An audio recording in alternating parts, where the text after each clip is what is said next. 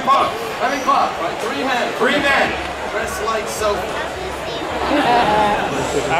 I think next week they're going to put the shade up, so stay in your seats. You guys will have shady seats next week. Good. Once you watch. Next week I'm going to do that thing where I block out the sun. Evil people don't know what I'm talking about.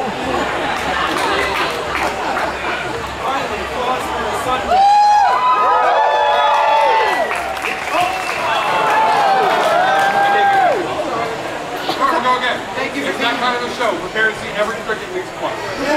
It's kind of like twice the show. If you think about it, If You think about it, but not for too long.